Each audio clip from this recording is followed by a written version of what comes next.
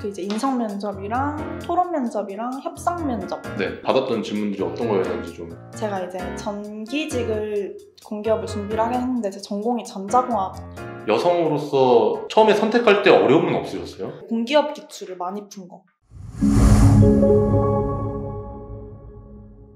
안녕하세요. 전기직 공기업 기출 플랫폼 엔지니어를 운영하고 있는 연구맨입니다. 21년 하반기 한수원 최종 합격자 엄지님을 모셨습니다. 아, 엄지월드라는 블로그를 운영하고 계세요. 전기 기사 관련해서 정리를 잘 해주셔가지고 인기가 많은 파워 블로거신데 제가 그 글을 보고 한수원도 최종 합격하셔가지고 이렇게 모셨습니다. 합격했을 때 순간이 어떠셨는지 좀 여쭤볼 수 있을까요? 어, 합격했을 순간이요? 네. 되게 엄청 바라던 순간이었는데 막상 그 합격장을 딱 보니까 아무 생각이 안 나고 너무 엄청 손이 떨리더라고요. 근데 네. 이제 주변에 인턴분들이랑 같이 있었어요. 결과를 기다리는 시간이 2주 정도가 됐는데 그 사이사이에 아, 나는 무조건 떨어지겠구나 하는 약간 그런 생각들이 계속 들더라고요. 근데 딱 합격하는 거 딱 보자마자 그냥 바로 이렇게 책상에 엎드려서 계속 울었어요. 울었다고요? 네, 너무 믿기지가 않아가지고. 어. 네, 그래서 그랬던 기억이 있어요. 네. 그런데 왜 떨어졌다고 생각하신 거예요? 면접을 보고 나서 바로 이제 들었던 생각은 어 그래도 대답을 잘 했네? 라고 생각이 들었었는데 하루하루 지나면서 뭔가 제가 실수했던 게 되게 많이 떠오르고 음, 아 이렇게 말을 하지 말걸 어 나는 이만큼 준비했는데 이거밖에 대답을 못했네? 약간 이런 생각이 점점 들어가지고 네 어, 그랬죠. 그러면 면접에 대한 그런 질문은 상세한 내용은 좀 이따 다시 한번 아. 여쭤. 사기업이 아닌 아. 공기업을 선택한 이유.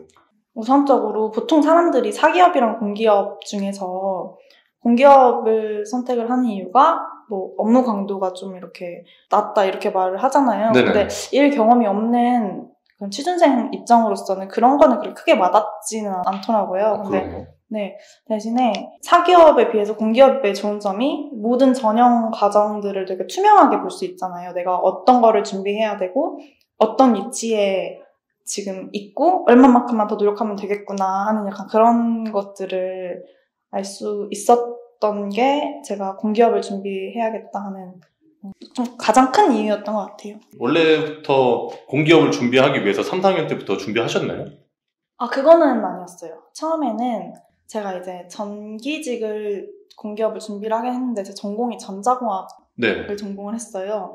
근데 이제 학부 시절에 공부를 하다 보니까 뭔가 되게 미시적인 약간 그런 반도체나 그런 것보다는 뭔가 회로를 만들거나 아니면 뭐 기계 같은 거를 보거나 하는 그런 것들에 조금 더 관심이 가더라고요. 단톡이라는 거는 이미 합격한 사람들이 모여 있나요? 필기 합격했을 그, 그때부터 필기 합격자 방이 따로 있고 또 면접 준비 방이 또 이렇게 막 오픈 카톡으로 만들어지고 한수원 합격한 직후에 또 검색을 해보니까 있더라고요 합격자 방이 아, 그래서 들어가서 그냥 소소한 정보 같은 거 알아가고 어, 그러면은 네. 합격자 방이니까 합격했는지 안 했는지 인증을 하고 들어가나요? 어 네 그쵸 그쵸 그 합격자만 알 수 있는 아 아, 네, 정보. 합격자만 알 수 있는 뭐 언제 뭐가 시작 시작하는 날짜를 적고 들어와라 약간 이런 거 아, 그런 걸로.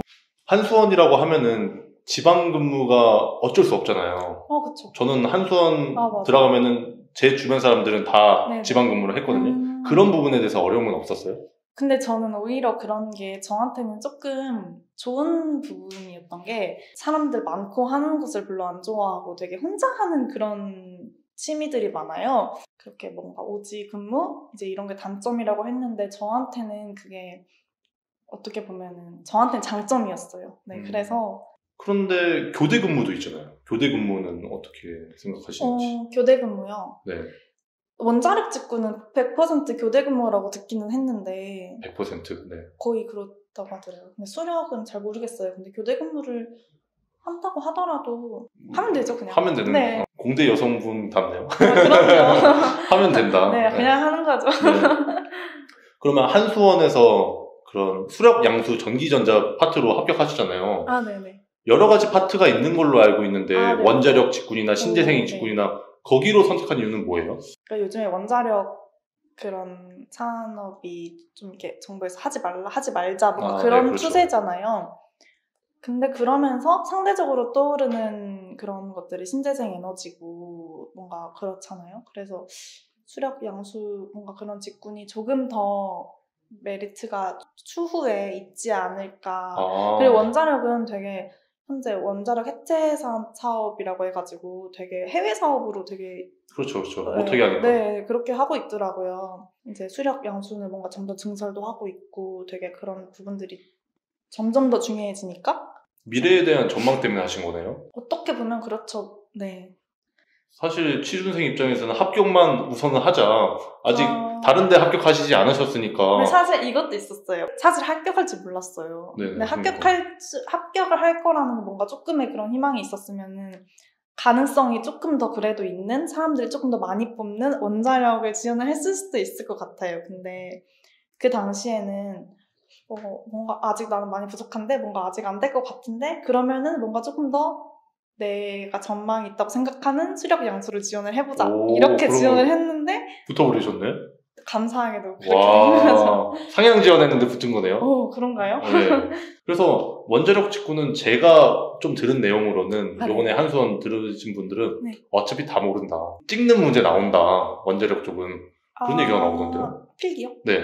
좀 다른가요? 한수원이 그런 직종마다 시험 문제가 좀 달라요. 아 그렇구나. 네. 원자력하고 수력 양수하고 달라요. 아 다르구나. 네, 신재생하고 달라요. 조금 조금씩 다른 부분이 있어요. 공통된 음. 부분이 있는데, 아, 그거는 모르셨구나. 네. 저는 그런 기출 복원을 하다 보니까 아, 그렇죠. 사람들이 얘기를 해주는데 음. 문제가 다른 거예요. 같은 번호인데. 아 맞네. 다른데 필기 합격하신 데가 있으신지. 아니요 저희는 이게 처음이었어요. 필기를 처음으로 합격했는데 면접까지 바로 돼버린 케이스. 언제 졸업하셨죠? 저는 졸업은 2019년도 2월에 했는데 네. 공기업 스펙을 본격적으로 쌓기 시작한 건 어, 2020년도가 거의 본격적으로 쌓기 시작했죠. 그럼 2020년도부터 시작해가지고 취준 생활이 한 어느 정도 된 거예요? 전체로 졸업한 시점부터요? 네, 아니, 언제부터 하신 거예요, 그러면? 졸업한 시점부터는 3년. 그 다음에 음. 뭐 공기업을 준비를 한 거는 2년 정도. 그 1년은 어떤 거 하셨어요? 1년은 어, 졸업하시고. 졸업하고 1년은 사기업 준비도 하고 중소기업 준비도 하고 그러니까 되게 뭔가를 하기는 했는데 네. 지금 생각을 해보면 아, 아, 간절하게 취업해야지 약간 이게 아니라 졸업했으니까 아 이제 뭔가 나만의 시간이네 이렇게 하고 뭔가 나만의 시간을 보내야지 약간 이런 생각이 조금 더 많이 있었던 것 같아요 주변에서도 취업 안 하냐 안 하냐 이렇게 하니까 사기업도 해- 써보고 중소기업도 써보고 했다가 뭔가 아 지금 뭐 하는 거지? 이게 싶은 거예요. 내가 지금 어디를 가고 싶은 거지? 싶은 거예요. 그래서 뭔가 되게 혼자서 아, 나는 뭐를 하고 싶은 걸까 생각을 오랫동안 하다가 이제 공기업 준비를 이렇게 아까 말씀드렸던 이유로 하게 됐죠. 아, 사기업이나 중소기업 준비하다 보면은, 어, 준비하더라도 뭐가 성장하는지는 잘 모르잖아요. 자격증 같은 거 따는 게 아니다 보니까. 어, 맞아요. 그래서, 아, 공기업 쪽으로 해야겠다라는 생각이 드신 네, 거예요? 맞아요. 그리고 뭔가 자격증을 하나하나 따는 게 재밌잖아요. 네네. 음, 그렇게 해서 뭔가 내가 뭔가 보이는 성과를 가지고 하나하나 일어나가는 약간 그런 취준 기간이 2년 정도 되셨는데, 자격증 세팅이 다 된 건 언제였어요? 올해- 서류 합격. 그거는 서류 학교도 되겠다는 2021년, 그러니까 올해 상반기부터 서류는 거의 다 붙었어요. 아, 이제, 근데 이제 완벽한 세팅은 하반기. 음, 공사 기사를 상반기에 따가지고. 음. 그러면은 상반기 때 가지고 있었던 스펙은? 일단 전기 기사, 전기 공사 기사 이렇게랑 한국사 1급 이거랑 오피가 IH. 한국어는 없네요. 네, 한국어 이번에 딸려 있어요, 떨어지면. 떨어지면은, 네, 실험 글쓰기? 네, 그게 글쓰기 괜찮더라고, 하더라고요. 이제 시험 접수니까. 네, 맞아요. 그거 음. 따려고 했, 했었죠. 아까 전에 전자공학이라고 하셨는데 아, 네네. 요즘 공기업 기출 문제에서 전기직이라고 해놓고 전자랑 오, 통신 문제가 나오잖아요. 맞아요. 코레일. 네. 맞아요. 그런 부분에서 좀 장점이 있지 않았어요? 전자공학 출신이니까. 그럴 거라고 많이들 생각을 하시더라고요. 근데 까먹잖아요. 진짜 다 까먹었고. 네. 그냥 그 코레일 저 전기통신 시험 봤었는데 그냥 다 찍었어요. 통신. 음, 그게 사실은 네. 뭐 전자공학과 출신이라도 전자공학 물어보면은 몰라요. 답변을 못 하잖아요. 네, 많은 그- 사람들이 그렇잖아요. 맞아요. 근데 이제 그 그런 건 좀 있었어요. 이니셜 같은 거 대충 뭐겠다 생각해서 찍는 거 약간 그런 건 좀 맞는 조금은 거 네, 조금은 네. 조금은 있겠네요. 네. 필기 준비를 전기직 공기업 필기 준비를 어떻게 하셨는지 좀 여쭤봐도 될까요? 더 그러니까 올해부터 되게 이제 그거를 준비를 시작을 했는데 제가 필기는 전기기사 필기를 딴 지가 되게 오래됐었어요. 거의 2년쯤? 아 네. 빨리 타셨네요 그거는. 네, 그건 미리 네, 되게 빨리 땄고 되게 쉽게 땄어요. 그리고 뭔가 운이 좋게 쉽게 따가지고 전공을 공부하려고 하다 보니까 하나도 모르는 거예요. 네. 진짜 하나도 모르는 거예요. 그래서 아 일단 나는 개념부터 준비를 해야겠다 싶어서 모든 인강을 다 들었어요. 그러니까 유튜브 같은데 무료 인강 많잖아요. 모든 인강을 다 듣고 이제 저만의 방식으로 요점 정리를 해가지고 그 모든 과목을 다 당근화를 했어요. 아, 네네. 그 다음에 이제, 근데 그렇게 다 해놔도 문제는 또 다 틀려요. 네, 근데 이제 그렇게 내 개념이 머릿속에 들어 있으니까 문제를 풀 때 이게 틀려도, 아, 이게 어떤 단원이구나. 내가 뭐 정리한 요점 정리에 어떤 부분이 있겠구나. 약간 이런 게 생각이 날 만큼 네, 그렇게 처음에 준비를 했고, 그 다음에 이제 문제를 풀 때는 보통 이제 전기직 준비하시는 분들은 과년도 많이 푸시잖아요. 근데 이제 저는 하반기에 바로 이제 썼어야 됐기 때문에 조금 급했어요. 그래서 정기직 위주로 모아둔 그런 문제집을 사가지고 스터디를 구해서 한 세네 번 정도 이렇게 해독을 하고 그 다음에 이제 기출 문제 있잖아요. 그러니까 네. 정기직 공기업 기출 문제 각 기업마다 있잖아요. 네. 그런 거 뭔가 책, 책 같은 것도 찾아가지고 그 기출 문제 풀고 그다음에 그 엔지니어 그 네. 서비스 그 거기에서도 기업별로 돼 있는 거 그런 거 이제 찾아서 풀고 네 그렇게 하면서 준비를 했던 것 같아요. 그러면은 전기기사 관연도는 많이 보진 않으셨네요. 네 보기는 했는데 어떻게 봤냐면 모든 과목 모아둔 책을 풀다가 저는 어려웠던 부분이 전기기기랑 전자기학 다들 어려워하는 부분 그게 어려웠었는데 그 부분은 이제 동일낙권 있잖아요. 로 풀었어요. 음, 관연도를.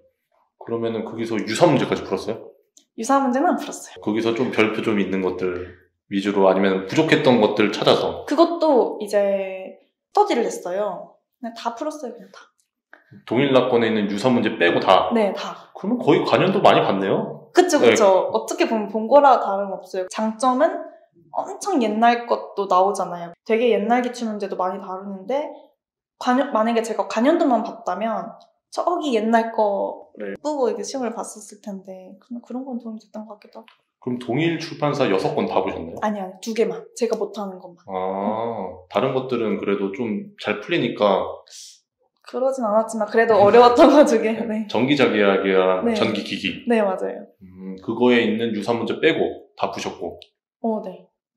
그거는 한몇 회도 하셨어요? 그건 한 번만 풀었어요. 스터디는 어떤 식으로 진행했어요? 하셨어요? 음, 하나는 온라인이고 하나는 오프라인인데 오프라인은 어, 일주일에 두 번 만나서 한 100문제? 100문제씩 풀어와가지고 같이 리뷰하고 그거 몇 회독 돌리면, 돌리고 나서 이제 각 기업마다 기출문제 같은 거 같이 풀어보고 네 그렇게 동시에 같이 풀어요?